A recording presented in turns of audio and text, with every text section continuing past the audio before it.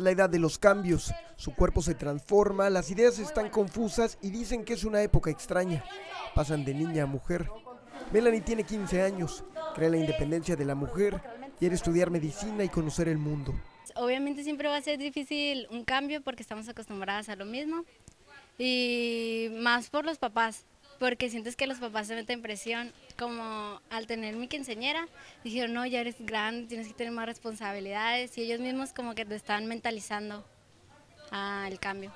Los problemas en la casa, la escuela, las relaciones sentimentales hacen que este proceso se vuelva todavía más difícil, sobre todo por la toma de decisiones y la responsabilidad que implica pasar a ser mujer.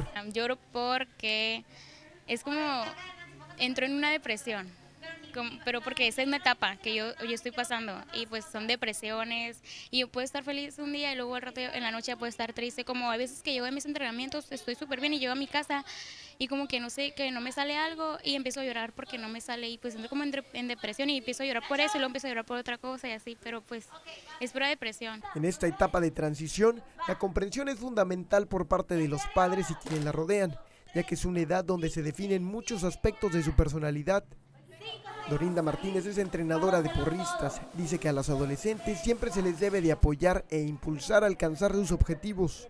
Mucha desintegración familiar, desgraciadamente y tristemente también, pero son unas niñas con mucho espíritu y ese espíritu es lo que las ayuda a salir adelante en todo lo que se pueda. En esta edad se recomienda a los padres tener un vínculo de comunicación, aconsejarlas sobre los diferentes problemas, ya que las decisiones que se tomen en esta etapa son con las que vivirán por el resto de sus vidas.